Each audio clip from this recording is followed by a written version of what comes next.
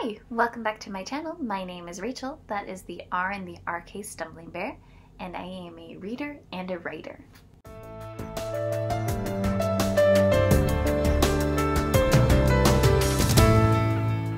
So, as we are entering December, I have been looking at some reading challenges that I want to do for the next year. And the first one I'm going to announce is my 40 books before I turn 40. Now, I don't turn 40 until 2024, April of 2024. So I'm giving myself more than a year to complete this list, which is good because I know I'm going to be wanting to read other things as well. And then how I decided on these 40, I went to Goodreads. Goodreads makes it very easy to find things, and I decided to go for the top 40 most rated on my want to read shelf. So you're going to see books that are well known because all of these books have over a million ratings, but I have not read them yet. So that is the goal. These are things that I said I want to read, and so I want to give them a try at least. I'm not going to go into synopsis of them. I am just going to say their name, show you a picture, and say the author's name, and then go on because there are 40 of them. But look for the graphic or the icon that you are seeing at, the thumbnail or during this video. We'll pop those up when I do my weekly wrap ups so then you will know that I am continuing with my 40 before 40 list. And then at the end of 2023, I will do an update of how I'm doing so far on my 40 before 40 list. So, the order that I am going to be saying these are in the most ratings to the least but like I said, they all have more than a million ratings. Starting off, there is The Great Gatsby by F. Scott Fitzgerald. 1984 by George Orwell. Animal Farm by George Orwell. The Diary of a Young Girl by Anne Frank. The Catcher in the Rye by J.D. Salinger.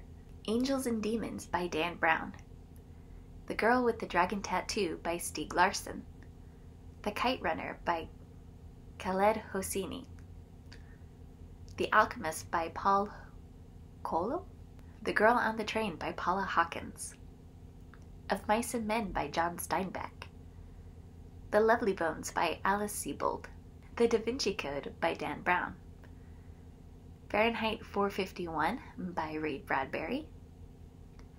Jane Eyre by Charlotte Bronte, Memoirs of a Geisha by Arthur Golden, The Handmaid's Tale by Margaret Atwood, The Time Traveler's Wife by Audrey Niffenegger, The Hitchhiker's Guide to the Galaxy by Douglas Adams, Eat, Pray, Love by Elizabeth Gilbert, Wuthering Heights by Emily Bronte, The Seven Husbands of Evelyn Hugo by Taylor Jenkins Reid.